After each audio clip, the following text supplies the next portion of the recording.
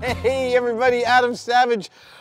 Uh, I am, it doesn't even matter where I am. Brandon Alinger is with me here. Uh, my hands are dirty because we have been posing my favorite bat conveyance of all the Batman films. The Bat Pod is absolutely my favorite. It's a serious piece of hardware. right? Dude! Look at this thing. This is the real thing. Yes, this is one of the originals built for and used in The Dark Knight and Dark Knight Rises. Both. Yes, yeah, yeah. So this is really what the, they are driving in those films. Yeah, and this is a practical prop. Uh, it, it was decommissioned when the studio released it and it was sold before, but it is a practical prop. I mean, look at it. You can see everything is real here. You know, Everything is real. the- I was the- the touching the brake frame. cylinders, the master cylinders, all this stuff. It steers still. Yeah. The steering mechanism, the you know, you can tell the, the engine is, is tucked away in here under these covers. Yeah. The, the spring there for the suspension. I, I mean, what a thing. What a build. What a build! Uh, first of all, second of all, I'm kind of astounded because it never really occurred to me, but Batman isn't on the center line of the wheels on this vehicle. I never thought about that either. Yeah. They, Uh, they're offset. Yeah, they are offset, and he is slightly. th- wait, they are they are actually they are in line with each other, but the seat is off by a few inches. Oh, the rider's off. Okay. that must have that must have made uh, driving this kind of special. Yeah. Well, I- mean, what I love is just the unique design of it. I mean, I think the intention is that the idea is both wheels are powered, and that's kind of what's going on here. Is that it's Oh. it's driving power to both wheels. Even though I think in actuality probably only the back wheel is powered. I see. And this is dummy prop stuff, but the idea is. It's getting power to both wheels. powered. And you remember it does that thing where it, it rolls? Yes. And he kind of rolls sideways on it, which I don't even know how that's supposed to be facilitated. somewhere in here, something is There's spinning. supposed to be a coupler. Maybe this is meant to be a pivot point and, and the whole thing's spinning that way. It is such a magnificent piece of hardware, and I mean, it is. It's it's literally the the prevailing image in my head from Dark Knight is that shot in the end of his of his cape flowing Oh, yeah, yeah, as you're yeah. driving behind this thing. It literally is like of all the Bat vehicles, the planes, the trains, the automobiles.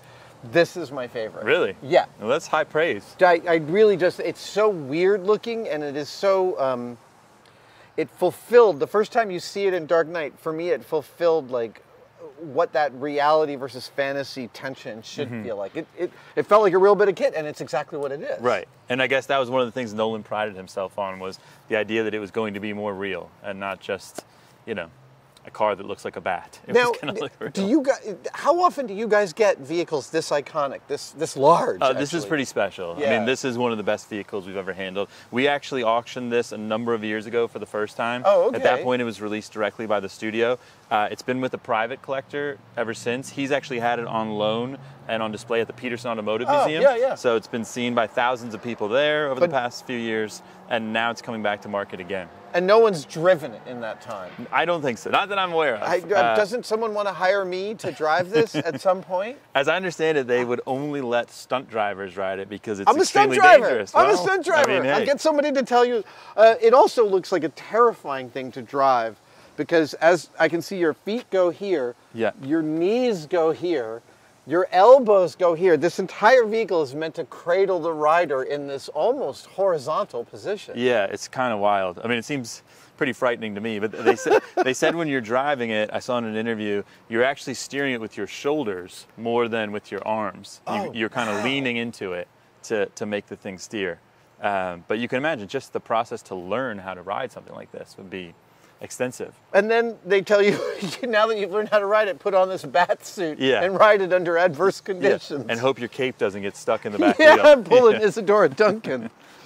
Um, really, truly. I, I've actually even spent time around a full-size replica of this. Oh, really? There's some folks down in Florida who do a lot of movie cars, and they built their own version of And does it run?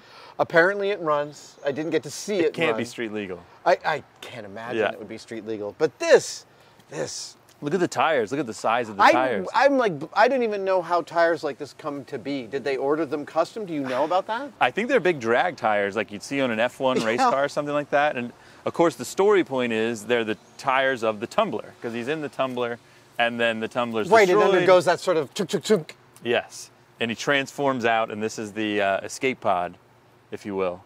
and he's got all these little controls for bat the throttle, stuff. the brakes. Yeah, yeah, I, yeah. I believe some of it was disabled uh, at some point. I, th- I think the fuel tank's been removed. So the idea is at this point it's a collectible. At this Fair point, enough. you don't necessarily want to hop on the five freeway on your bat pod, as I- enticing as it may be. I do. I personally do.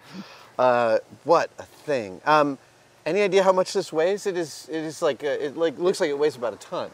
I think less actually. I, Oh, okay. I, I think I read about a thousand pounds. Okay. In one of the articles, um, it was built by a guy named Chris Corbould, who's one of the big UK special effects Yep, guys. yep. Does tons of the big And film. he does a ton of actual practical movie cars, like that that actually do what they look like they do. Yes, yeah, and, and all kinds of just big scale practical effects for the Dark Knight films and many other big UK based productions. I really, I really hope someday I'm able to talk to one of the people who drove this because I'm fascinated by what not being in line with the wheels might do for you as a rider. Like, Yeah. that, that's got to be a really interesting mapping to have to. I do. wonder if they ever let Christian Bale ride it, or is it always the stunt driver? Uh, that is also a good question. If I, if it was me, of course, I'd be begging to drive the thing.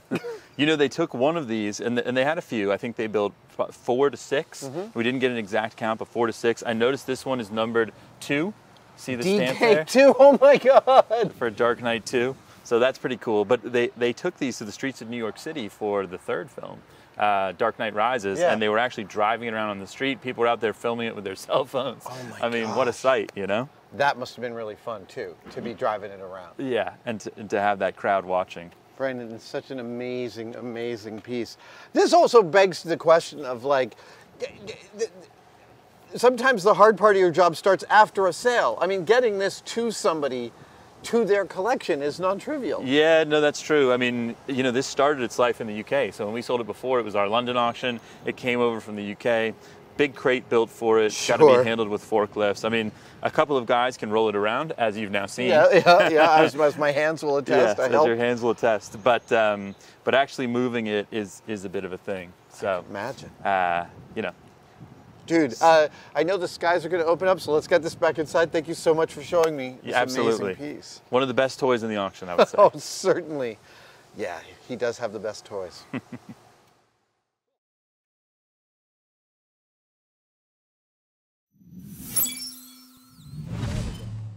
oh! AI to the rest.